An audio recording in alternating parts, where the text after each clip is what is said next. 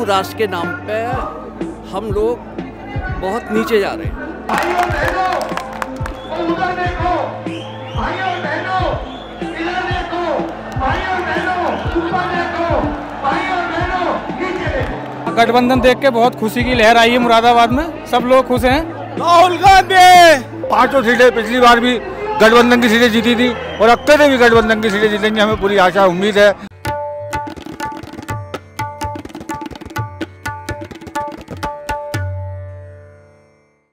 राहुल गांधी और प्रियंका गांधी मुरादाबाद में नज़र आ रहे हैं। पहली बार प्रियंका गांधी यहाँ पर आई।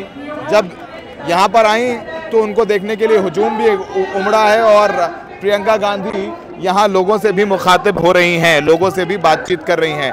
प्रियंका गांधी ने कहा कि मेरा ससुराल है और मैं यहाँ पर आई हूँ। उन्होंने कहा कि दो साल पहले भी वो यहाँ पर आई थी और दो साल में क्या कुछ बदला है?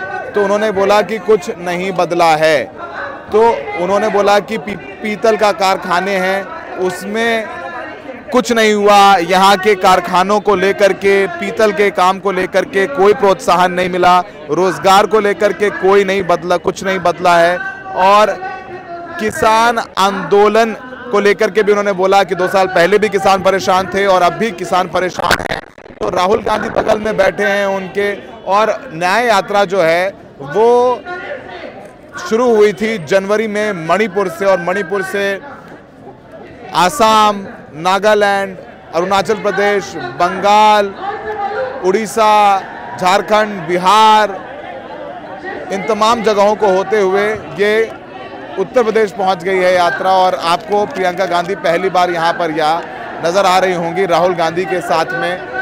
वो महिला सुरक्षा को लेकर के आरोप लगा रही हैं, बुलडोज़र के एक्शन को लेकर के आवाज़ उठा रही हैं। उन्होंने कहा, बनारस में बीजेपी के कार्यकर्ताओं ने रेप को अंजाम दिया, उनके घर पे बुलडोज़र नहीं चला। तो बुलडोज़र की कार्रवाई को लेकर के वो मुख्यमंत्री योगी आदित्यनाथ पर निशाना कसते हुए नज़र आ रही हैं। और राहुल गांधी उनके बगल में हैं और जो उनकी यात्रा है, वो शुरू हुई पुराने मुरादाबाद की पुरानी जामा मस्जिद से। यहाँ समाजवादी पार्टी भी उनके कार्यकर्ता नज़र आए और कोशिश यही है कि इस अलायंस को पुख्ता किया जाए। सड़क पर भी ये अलायंस नज़र आए और अलायंस के साथ साथ जो एकता है, वो नज़र आए सड़कों पर भी, जो एकता हुई है गठबंधन के तौर पर। कि राहुल गांधी और प्रियंका गांधी को देख करके कुछ उत्साह आएगा, कुछ फ़ायदा होगा? हाँ लोगों में बहुत उत्साह आएगा, बहुत फ़ायदा होगा। फ़ायदा होगा जी। अलायंस हो गया समाजवादी पार्टी और कांग्रेस का। गठबंधन देख के बहुत खुशी की लहर आई है मुरादाबाद में। सब लोग खुश हैं।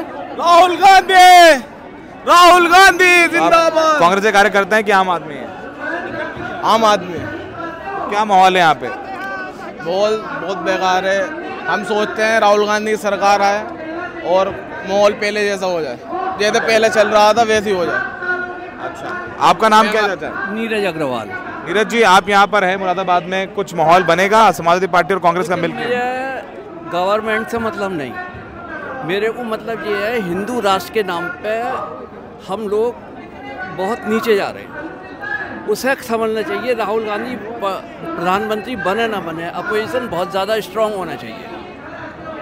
बस मेरा ये है ना मैं कांग्रेस का हूँ मैं कांग्रेस का सपोर्ट विचारधारा था बहुत बड़ा सपोर्टर हूँ शुरू से बट मेरा ये नहीं है ये हारे या जीते जो पब्लिक चाहेगी वो जीतेगी हारेगी। लेकिन मैं हंड्रेड परसेंट हूँ हिंदू राष्ट्र के नाम पर बर्बादी हो रही है देश की। सब लोगों में एकता बनी रहे। आपका नाम क्या है? मेरा नाम मोहम्मद इस्लाम है। इस्लाम साहब क्या माहौल? माहौल जो है यहाँ समाजवादी पार्टी का हमेशा लोकसभा में एमपी रहा है मौजूदा एमपी है। और कांग्रेस के आने से पार्टी को बल मिलेगा मजबूती मिलेगी। और आज जो है बेरोजगारी जिस तरीके से तानाशाही चल रही है जनता मूड में है सरकार उखाड़ने के भारतीय जनता पार्टी को और आने वाला सन 2024 में यहाँ से मंडल की पाँचों सीटें पिछली बार भी गठबंधन की सीटें जीती थी और अब तक भी गठबंधन की सीटें जीतेंगे हमें पूरी आशा उम्मीद है। दोनों राहुल गांधी प्रियंका गांधी के आने से।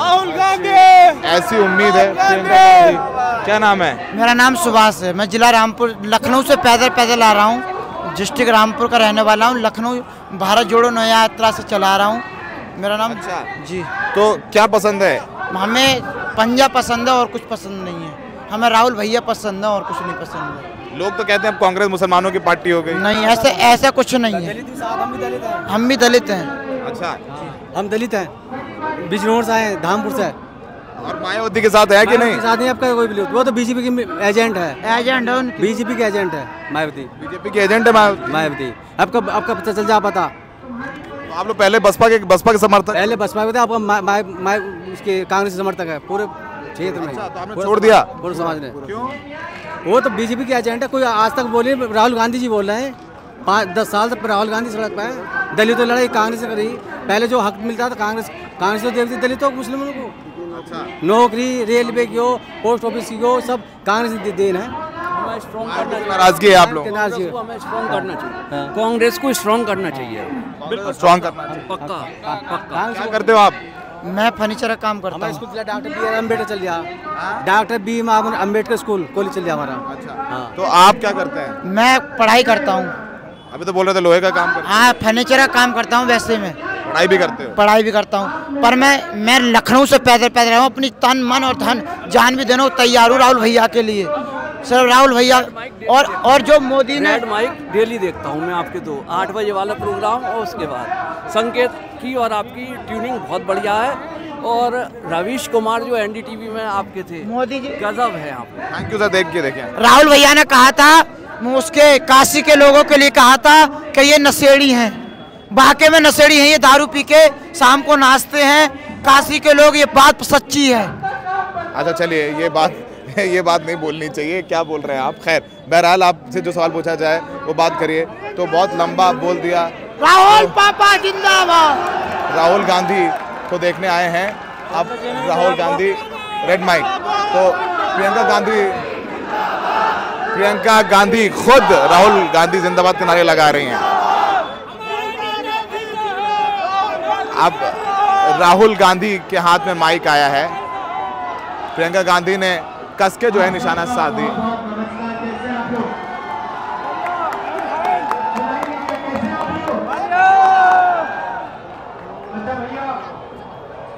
यहाँ पे जीप पे कौन खड़ा होगा? आप आ जाओ। आप आ जाओ आप आ जाओ। ये ये जो है राहुल गांधी अपनी बात रखते हुए प्रियंका गांधी ने काफ़ी किसान आंदोलन से लेकर के बेरोजगारी बुलडोजर का, की कार्रवाई और मुरादाबाद को अपना ससुराल बताया और पहले भी बोला है तो राहुल गांधी भी जो है यहाँ पर अपनी बात रखते हुए नज़र आ रहे हैं। यहाँ सुबह लगभग 11 बजे मुरादाबाद में ये इनकी यात्रा शुरू हुई जीप पर और जीप के बाद में वो यहाँ पर। आयुष कौशिक जी हैं। नमस्कार करो जरा। अब बताओ मुझे एक बात। आयुष जी से नहीं पूछ रहा। मैं आपसे पूछ रहा हूँ। आयुष जी जरा इधर देखिए। अब मान लो अगर हमें आयुष जी की जेब काटनी हो। मान लो हमने सोचा कि भैया आयुष जी की जेब काटो। सबसे पहले हमें क्या करना पड़ेगा? हाँ सबसे पहले जरा हाँ भैया देखो, इधर देखो की ओर देखो जरा। करना पड़ेगा। पहले ध्यान भटकाना पड़ेगा। सही? काम आपके लिए नरेंद्र मोदी जी करते हैं। भाइयों, बहनों, वो उधर देखो। भाइयों, बहनों, इधर देखो। भाइयों, बहनों ऊपर देखो भाइयों बहनों, नीचे देखो। अब उसके बाद क्या चाहिए आपको? उसके बाद कौशिक की तरह घूमिए जरा। उसके बाद जब उसका ध्यान चला जाएगा, पीछे से कोई आएगा, है ना? किसी को आना पड़ेगा। वो कौन है भैया? वो अडानी है। वो अंबानी है।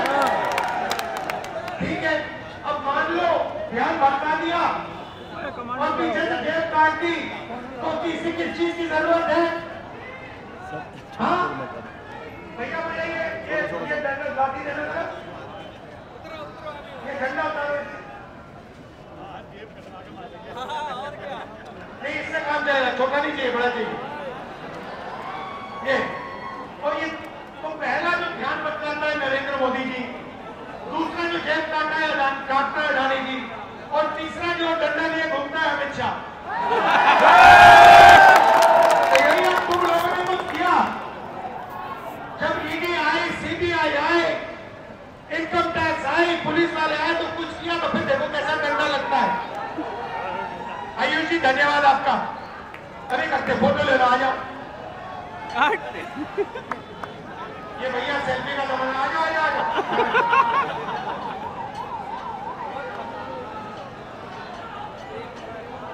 धन्यवाद।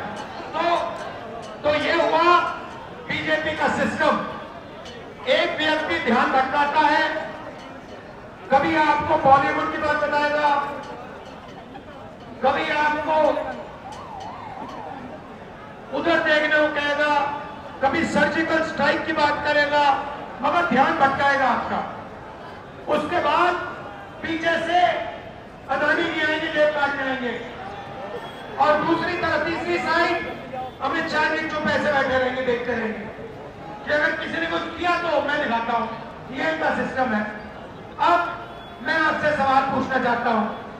इस देश में पिछड़ों की कितनी आबादी है 50 परसेंट पिछड़े हैं इस देश में माइनॉरिटी की कितनी आबादी है 15 परसेंट माइनॉरिटी है। इस देश में दलित कितने? दलित भाई आठ परसेंट, नहीं 15 परसेंट। और आदिवासी कितने? आठ परसेंट। जोड़ के बताओ मुझे। 50 और 15 कितना हुआ? पैंसठ पैंसठ और पंद्रह अस्सी अस्सी और आठ इक्यासी भाई और बहनों मैं आपसे पूछना चाहता हूँ ये जो 90 परसेंट जनता इस देश में दलित आदिवासी पिछड़े माइनॉरिटी इनको इस देश में कितनी भागीदारी मिल रही है ये सबसे बड़ा सवाल है। आप सबसे बड़ी कंपनियों की लिस्ट निकालो। 200 कंपनियाँ सबसे बड़ी वाली। उसमें 90 परसेंट का एक मालिक मुझे दिखा दो। आपको एक मालिक 90 परसेंट का नहीं मिलेगा। उसके बाद आप मैनेजमेंट टीम में की लिस्ट निकालो। उसमें आपको 90 परसेंट का एक नहीं मिलेगा। फिर आप कहो, ठीक है 90 परसेंट हिंदुस्तान की कंपनी का मालिक नहीं बनना चाहते। मैं नहीं कहता, मगर आपने मान लियो कह दिया। तो फिर मैं आपसे पूछूँगा, भैया, ठीक है, नब्बे परसेंट के मीडिया में कितने? मीडिया में कितने? एक नहीं है। आप मीडिया के मालिकों की लिस्ट निकालो, आपको एक ओबीसी नहीं मिलेगा। एक दलित नहीं मिलेगा, एक आदिवासी नहीं मिलेगा, एक गरीब जनरल कास्ट का नहीं मिलेगा, एक माइनॉरिटी नहीं मिलेगा। फिर बड़े बड़े पत्रकारों की लिस्ट निकालो। नब्बे परसेंट से आपको एक नहीं मिलेगा। फिर आप मुझसे कहोगे, नहीं राहुल जी, नब्बे परसेंट को ना मीडिया में भागीदारी चाहिए, ना हमें बड़ी कंपनियों में भागीदारी चाहिए। फिर मैं आपसे पूछूँगा ठीक है भैया बताओ। प्राइवेट अस्पतालों में आपके कितने लोग? एक भी नहीं। फिर पूछूँगा भैया ठीक है प्राइवेट तो राहुल गांधी अपने चिर परिचित अंदाज में नज़र आए उन्होंने कहा कि प्रधानमंत्री मोदी ध्यान भटकाते हैं। और फिर जब ध्यान भटका देते हैं लोगों का तो अडानी जेब काट लेता है। और फिर डंडा लेकर के अमित शाह चलते हैं जो ईडी सीबीआई इनकम टैक्स का डर दिखाते हैं। तो राहुल गांधी यहाँ पर फिर से जातिगत जनगणना की बात कर रहे हैं। और कोशिश रही है कि उत्तर प्रदेश में, खासकर पश्चिमी उत्तर प्रदेश में, कांग्रेस और सपा के गठबंधन को मज़बूत बनाया जाए। अब देखना होगा कि जब अखिलेश यादव 25 तारीख को इस यात्रा में आएँगे तो क्या माहौल होगा? सहयोगी शायान के साथ, सौरभ शुक्ला द रेड